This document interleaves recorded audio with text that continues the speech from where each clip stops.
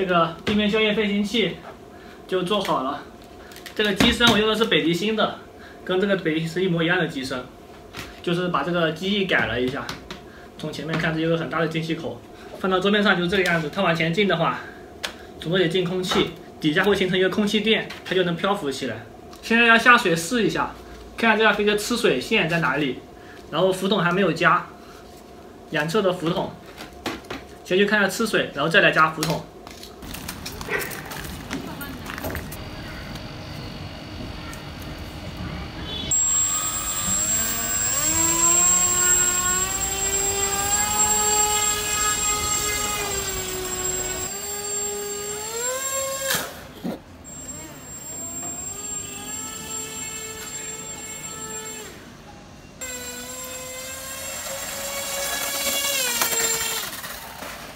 刚在小区里面试了一下，加速一下，有一点点地面效应就已经到头了。要等到明天去河边测试了这个东西，它一直要贴着地面或者贴着水面飞行，然后它的飞行速度基本上和飞机差不多，所以说条件特别苛刻。好了，明天去河边测试。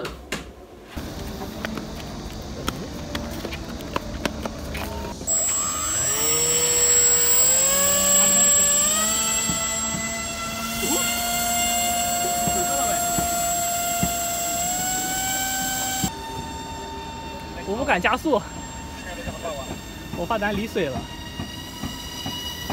你是怕没了？哎，我就怕会这样。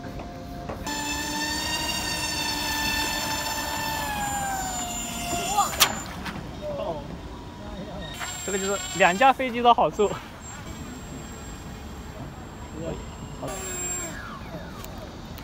接一个站，有个这种情况。拉杆了的话，升力太大，它会飞起来；推点杆的话，后面屁股就抬起来了。但是这个还没离水，这个做的太低了，角度太大了，应该角度小一点的。Day two。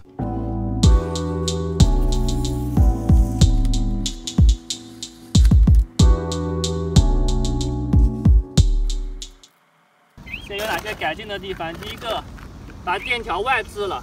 昨天内置电条会高温，全油门一小火就会高温。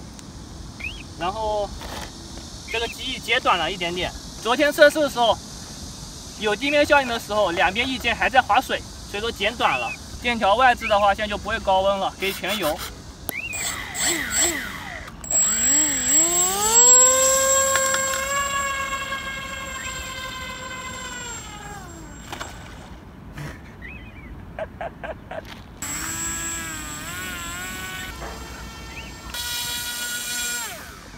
刚刚又翻了，然后再试一下，现在推点杆上去，它就不会抬头抬这么多，油门悠着点加。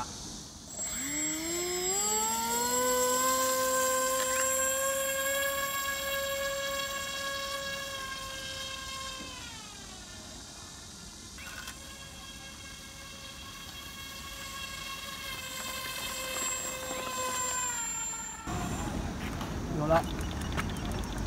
调一下，有点向左边倾斜。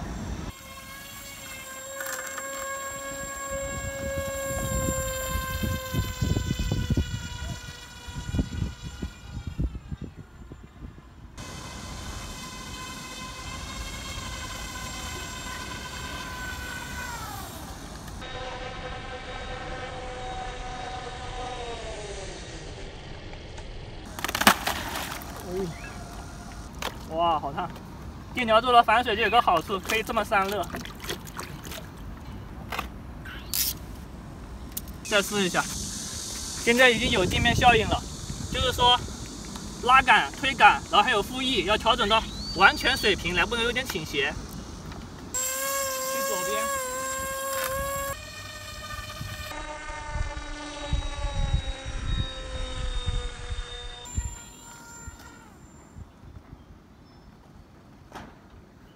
好吧，这架飞机又玩废了。我发现这种设计有几个问题。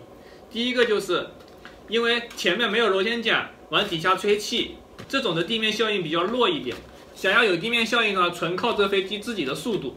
但是如果这个速度起来了的话，它很有可能会飞起来。就是这个速度区间值不能快也不能慢，要刚刚好，这个区间值很难确定。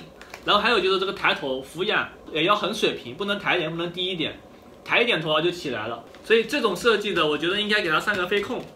然后还有一种能提高地面效应的设计方法，一边一个螺旋桨，往机翼下方吹气，这种对于飞行速度就没有这么敏感，有气流往下面吹，它就有地面效应，就是里海怪物的那种。这架飞机就这个样子吧，不继续折腾它了。下一架的话就给两边一边加一个螺旋桨，往机翼下方吹气，这样子的话地面效应就会特别明显。这期视频就到这里，如果喜欢我的视频，别忘了点个关注。我是布丁，我们下期再见，继续造里海怪物。哎呀！哎呀呀呀呀呀呀呀呀呀呀呀呀呀！这是什么造型啊？挺别致啊！他妈的失控了，我操！我都看不见飞机啊，发科。Fifteen minutes later。哎，对准，哎，好，对准。然后两架飞机都卡在那了，世界与你环环相扣。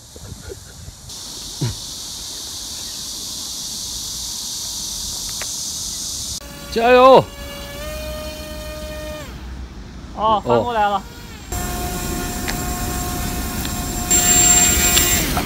啊，救援成功！